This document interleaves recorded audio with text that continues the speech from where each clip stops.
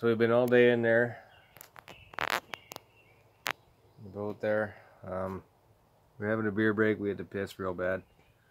I was trying to rush stuff, and the last video you'd have seen it. That that that last layup there. It was going brown, and I had about I want to say a half a liter, which would have been enough to flood coat or to to wet the uh, the backside of the um,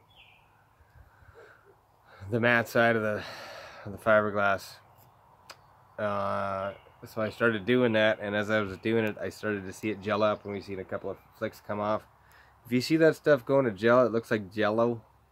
It'll actually look like you're rolling jello to be chunks hanging off of it and stuff. You, you just gotta, you gotta abort. You, there's nothing you can do. You gotta take the um, roller, kick the roller off, get that that layup, which sucks because we lost. I think it's one foot by three foot on that one. Uh, you, you don't even mess around with it. Just get rid of it. It'll take you ten days to grind that crap out of there. It's so much cheaper in labor to just throw it out. Even if that was a $50 piece, I'd have thrown it out. It's probably all said and done with the resin and the cloth. It's probably a $15 piece. Doesn't matter. My time is worth more than 15 bucks. So to pull that piece off, you can see I'm a little bit disheveled. I've been in there all day.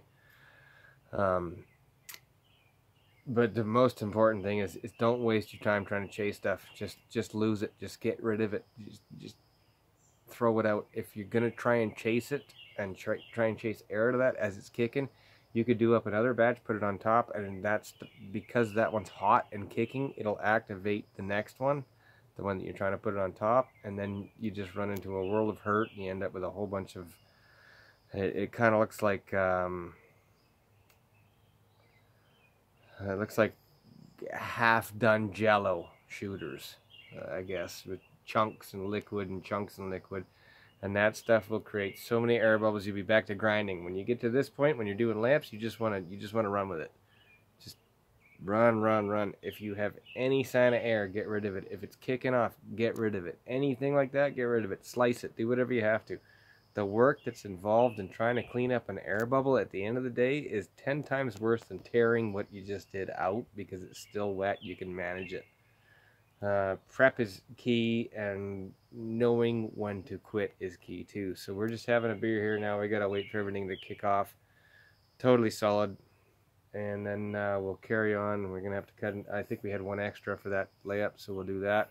We'll get all the way up there. Uh, I think my baked potatoes are done, and um, we'll kick them to the side and probably just get.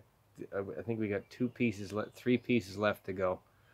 So we'll do those in one liter batches, calm and collective. Uh, if you push it, you end up losing every time.